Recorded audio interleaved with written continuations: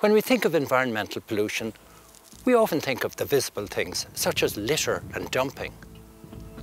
But we typically don't consider the invisible things that can have serious effects on our health. Today we're going to look at some of the most strange and sinister things we've ever seen on EcoEye.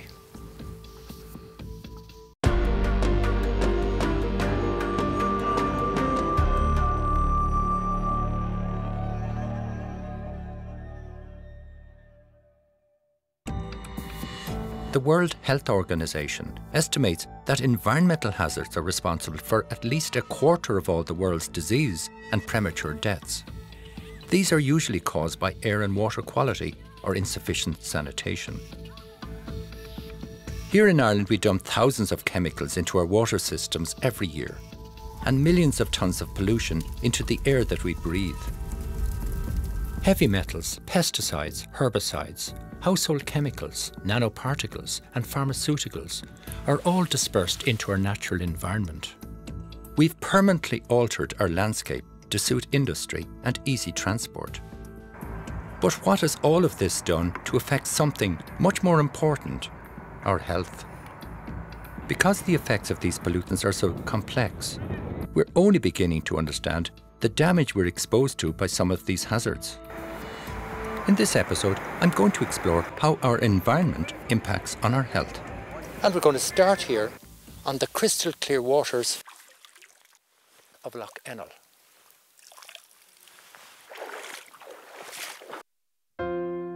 In past decades, Lough Ennell in County Westmeath was a complete environmental disaster. But with massive investments in the wastewater treatment plant for Mullingar, there's now a resurgence of angling and safe swimming in the lake for the first time in a long time. So what are the benefits now for the local community here? Every community needs clean water for bathing, for drinking, for uh, recreation, even you know, for food production. Uh, uh, from our perspective, uh, a thriving, clean fishery has economic benefits in terms of anglers coming to the locality to fish. Angling tourism to Ireland is worth about 750 million. My God, 750 million? Yes. Wow. There's no doubt the improvements on the lake were a big success for public health and the economy. But a few years back, Dermot helped specialist toxicologist Dr. Andy Fogarty discover something very strange about the lake's fish.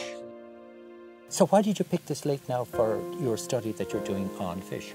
Well, first and foremost, I'm a very passionate angler. Studies had been published back in the 90s uh, about uh, intersex in fish. Intersex, can you explain that? Yeah, intersex is the simultaneous presence of both male and female germ cells in the same fish. So you're looking at male fish with eggs. Male fish should not have eggs. You're looking at male fish having a, a enzyme called that's a female protein. It should not be in it. Andy explained that with the help of Inland Fisheries Ireland, he took samples of fish downstream of the wastewater treatment plant and a control sample upstream. Back at his lab in Athlone IT, Andy discovered that the fish he had sampled had been dramatically affected by the chemicals in the water coming down from the plant. So when we looked at Mullingar de Brosna, we actually found downstream of the sewage treatment plant, we actually had fish. Now in this case, it actually was roach. They actually had eggs in their testes. The male fish basically had uh, female eggs in them. That should not happen. Andy explained that the new wastewater treatment plant system may have improved the problem here. But all across the country, our wastewater plants are not designed to remove these chemicals. They typically discharge straight back into the natural water system. We also have huge amounts of these chemicals coming from septic tanks and agricultural veterinary sources, all going straight into our natural water systems. Andy also discovered that trout were found to have delayed sperm production, all because the endocrine system of the fish was being affected by chemicals in the water. And where are they coming from? Well, they're coming from a consequence of modern living. They're coming from pesticides, they're coming from the human birth control pill, they're coming from um, plasticizers that make plastic flexible, they are coming from pharmaceuticals. So they are actually coming from modern living. does it affect us? Unfortunately, humans are incredibly complicated, okay? If we look at, let's say, uh, decreased puberty, age of puberty, the average age of, uh, of a girl entering puberty in the 19th century was 14 years. In the 1950s, it was 12 and a half years of age. Now, in Western societies, girls, the average age of onset of puberty is 10 and a half years. And what about boys? Boys, yeah. A very controversial study was published 20 years ago that said that the male sperm count, it was a Danish study, that the male sperm count had halved in the last 50 years. Now, are we saying that's directly got to do with endocrine disrupting chemicals? No. It could be due to uh, things like increased, um, you know, nutrition. It could be due to increased fat. Where there was a uh, there was a report published recently saying that 25% of our three-year-olds are now obese. So it could be to do with the fat, and we're retaining these chemicals. And also, it could be due to the endocrine disrupting chemicals. Right. Humans are very multifactorial. There's lots of different uh, reasons. Like like there are 74 million chemicals out there. Your average person gets exposed to 70 to 100,000 chemicals every single day. The milk that you had this morning would have had lots of lipophilic compounds in it. Uh, the cereal you would have had would have had chemicals in it. So we live in a, in a sea. So to actually say it's due to one thing and not the other is very, very difficult. Right. All I can say is downstream of a sewage treatment plant uh, that isn't working correctly that I have found delayed sperm production in trout and I have found intersex in fish.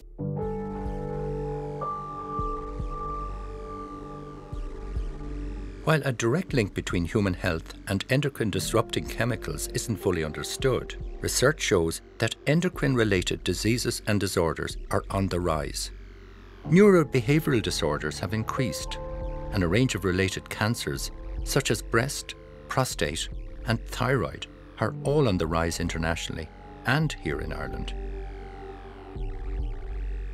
Can they be collected in the sewage system or or is there anything that can be done at that stage? Yeah, modern sewage treatment plants, okay, they're not actually designed to remove these chemicals, okay? They are designed to remove the, um, the bacteria from the uh, sewage. They're designed to actually remove uh, deoxygenation potential. Things like BOD, they're designed to remove nitrates and phosphates, but not these chemicals.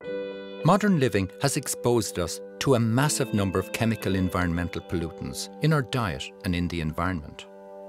The complexity of how they affect human health isn't fully understood, but we know that many health problems today are hugely influenced by environmental pollution.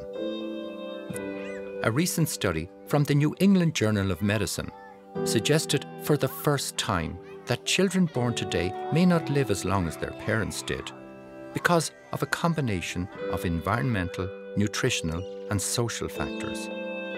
I went to meet Shane Colgan of the EPA to discuss the relationships between environment and health. One of the issues, I suppose, that, that we always talk about when we talk about environment and health was Dublin's smoky coal ban, which was brought in in 1990. And it gets talked about quite a lot across Europe as an example of how environmental regulation can deliver a health benefit. The studies have shown since that have been carried out by, by the, the likes of Professor Luke Clancy have shown that 350 lives are saved every year and continue to be saved every year because of this piece of legislation. So it really does show how, how doing something to protect the environment brings about a real, I suppose, benefit to people's health and saves lives. And what about transport? We do know that there are absolutely health problems associated with, with transport. Car transport is the one that comes to mind. So what sort of impacts from transport are causing the biggest problem to health? I suppose one of the ones that we would be very concerned about would be particulate matter coming out of diesel engines. There's these tiny, tiny little particles that can get inhaled right down into the bottom of your lungs.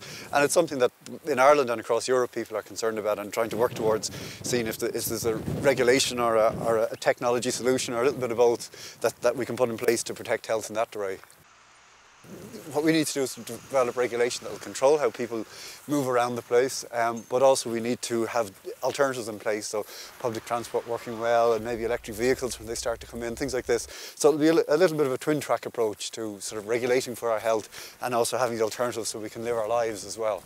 But certainly, yeah, it's not possible to, to regulate everything. As I say, the EPA has a role in encouraging people to move in the right direction, but th this is a difficult one. It's clear that regulating for every one of the thousands of pollutants we're exposed to would be difficult. But there's new signs showing some very alarming things about other chemicals, and especially strains of bacteria we're creating and we're putting into our water systems, and how they're directly affecting human health today. I went to meet expert microbiologist Dr. Martin Cormican in NUI Galway, who's been doing cutting edge research into how waste chemicals in the environment are affecting our health.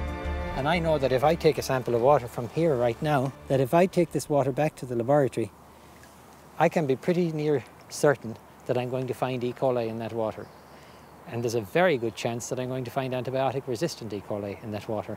And the reason I'm finding E. coli in the water is because there's crap in our water. So it's coming from animals, it's coming from people, it's coming from septic tanks, and it's getting into our water.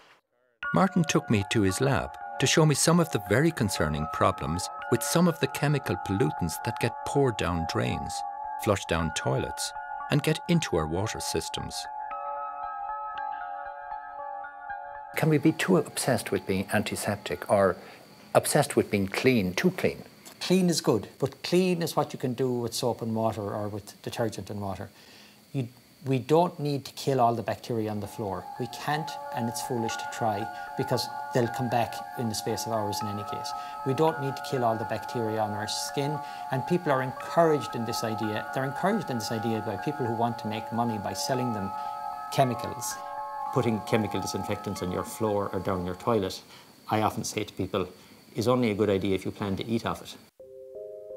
Martin explained that antibacterial detergents and other pharmaceuticals entering natural water systems are posing a major environmental and health issue antibiotic resistance. Are we heading for a, a, crisis with this? It's not even that we're heading towards a massive problem. We already have a massive problem. In 1944, original penicillin that Fleming discovered worked great. Now it's useless. We don't even try to use it because we know it won't work. Virtually every Staph aureus associated with people in the world is now resistant to an antibiotic that worked 70 years ago.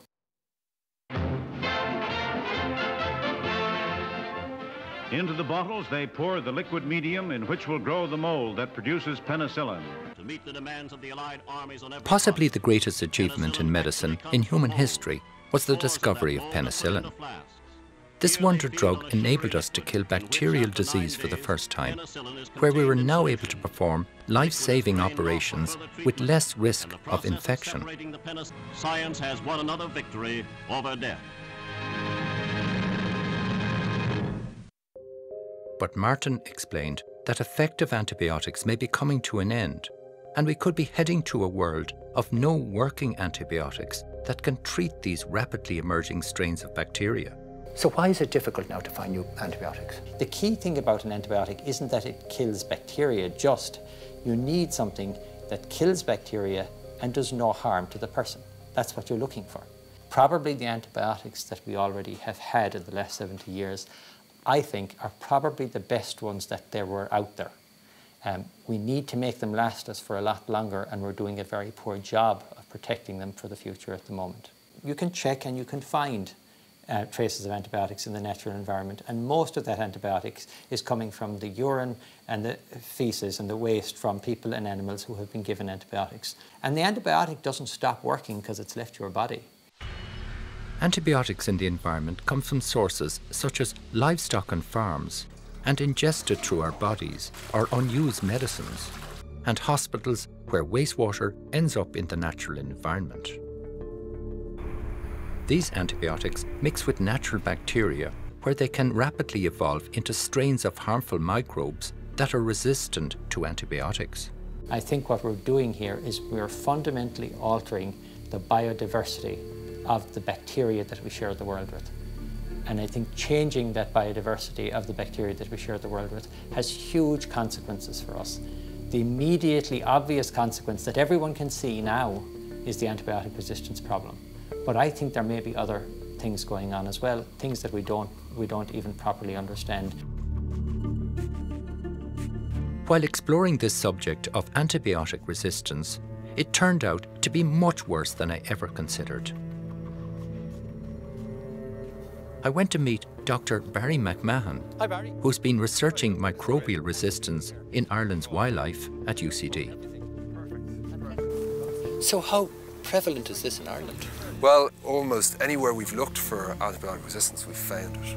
So uh, we've looked for, we've looked at it in herring gulls in Ireland's Eye. We've looked for it in lesser blackback gulls on Great Saltee off the coast of, uh, off the coast of Wexford. Uh, we've looked for it in black-headed gulls in Offaly. and We found it. Starlings in uh, around the country. We, we found it, and even the deer in the Wicklow Mountains. We found it. So, why is it important that it's in wildlife? I think the fact that antibiotic resistance has managed to get to far-flung places like the Arctic, the Antarctic, or even to Ireland's Eye, to the seagull, to the gull colony there, is an indication of how much possible excess usage is in clinical environments, in hospitals or in veterinary settings. So that's really the key point, is that it is a symptom of the overusage or abusage of uh, antibiotic compounds. Each year, 100,000 kilograms of antibiotics are used in Irish agriculture. Much of this seeps back into our water systems.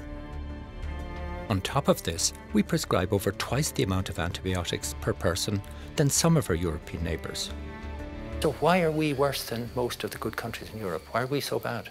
It's certainly a serious failure of policy, and I think the responsibility is on a number of areas. Uh, doctors and veterinarians have prescribed too many antibiotics, and we, as doctors and veterinarians, need to do better about how we prescribe.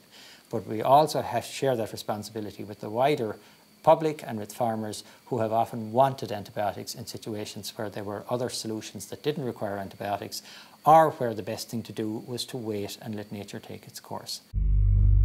Antibiotic resistance is now estimated to be costing Ireland up to 1 billion euros in healthcare services, loss of productivity, and other societal costs each year. MRSA and a host of deadly new strains of antibiotic resistant infections, such as drug resistant TB, are now killing 25,000 people a year in Europe. This kills more than AIDS and is fast becoming the global health problem of our time. Scientists sometimes get accused of exaggerating things. This is a global issue and we are seeing levels of um, antibiotic resistance around the world which are absolutely frightening in terms of the fact that drugs and different treatments that were used for a, a range of different bacteria in the last 10 or 20 years are now ceasing to work. How do we deal with this problem? Well, the way that we deal with it is about getting better at, uh, first of all, the managing septic tanks, and there's some change coming on that now, which is very welcome, but it's long overdue. But also, there are rules that are in place about land spreading of animal waste and making sure that those rules are complied with will help to protect the sources. So, what we need to do is make sure that we have buffer zones around our rivers and catchment areas to make sure that um, fecal material is not getting into the water. There are some simple things we can do to reduce the problem. Unused medicines should always be returned to the pharmacy and never flushed down toilets or discarded into waste bins. We also need to stop them from escaping into our natural water systems, both from agricultural sources and from wastewater treatment plants. When pharmaceuticals do get into our water systems, our wastewater treatment plants are not designed to remove many of the new harmful chemicals and microbes that we're now finding to be posing an ominous health crisis. Perhaps one way to reduce pollutants from getting into our environment is by engineering the physical properties of nature and to use them as a barrier. Integrated constructed wetlands have proved to be a very cost-effective way of treating wastewater. By channeling wastewater through a series of carefully engineered wetland ponds, the natural system breaks down the harmful substances through a combination of biological filtration mechanisms. How does this actually work? What's the simple kind of method? The wetland intercepts the polluted water and supports a microcosm of bacteria which cleans the water. Can we do anything about the cryptosporidium and E. coli that has infected so much of our drinking water? The uh, nature of integrated constructed wetlands is such that they are very capable of removing most of these pathogens, if not all.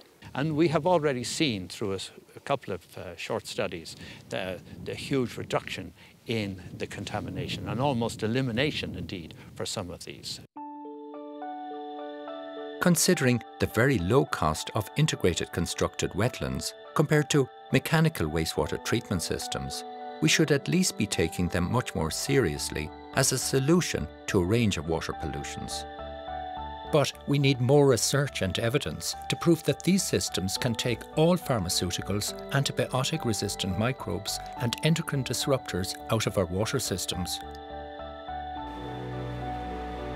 Today, almost all our wastewater flows through mechanical treatment plants that are not designed to remove these chemicals and spent medicines. But Dr. Mary Garvey in Athlone IT has come up with a revolutionary technological solution to removing endocrine disruptors, antimicrobial resistant bacteria, and other harmful substances in water. Mary found that pulsing blasts of super high intensity ultraviolet light breaks down all known harmful chemicals and bacteria.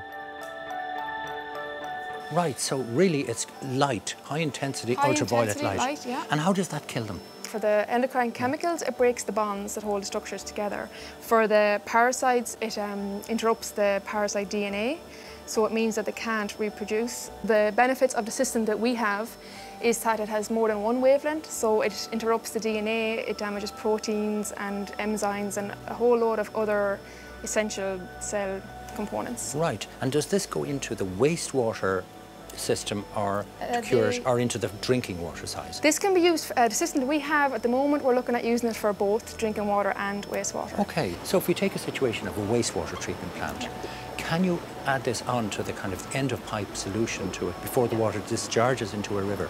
Yes, that's the idea, yeah. You add it on at the end of the uh, plant and then before the water is released into the environment, it gets treated with this UV light and with the idea of breaking down the chemicals or inactivating the parasites. And is this all new technology? The system we have is very novel at the moment, yeah. Right.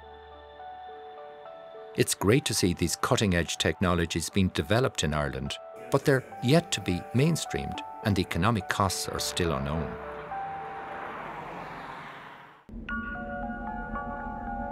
Modern living is exposing us to a multitude of environmental toxins. New science is only starting to understand how some of these pollutants are affecting human health. It's an ongoing challenge for state environmental and health authorities to keep up with new hazardous substances and their risks. So from my point of view, I think it's important to remember that we have to protect people's health so that it's safe, so we remove pollutants, we regulate, we do all of those things. But the other side of it is just recognising, getting out, valuing the, the, what's around us in nature, as I say, getting the air into your lungs, just getting out, stretching the legs, that's important too for your health. And it's lovely to be out here today. Fantastic. The benefits from exercise and filling your lungs with clean air, these are huge. And they're well documented through various studies which have shown that, you know, there's a health benefit from this thing. And the HSE have started doing some interesting work now up in Donegal on what they call a green prescription, which combines traditional treatment with nature, if you want to call it that, as a treatment for people who are dealing with stress. Obesity is an issue that's going to come big in Ireland. And if we can organise our environment and our nature so that you can access it easily. Maybe you can drive there, you can park, and then get out and enjoy something clean. The environment is here for us, and the environment is a powerful thing to, to, to aid our health, our good health. It's clear that the natural environment has a strong relationship with our own health. Man made environmental toxins are doing massive damage to our natural environment and ecosystems. We're now only starting to understand how this damage is affecting our own health and well being. So we have to continue to ask ourselves, as a society, what level of harm we're willing to accept.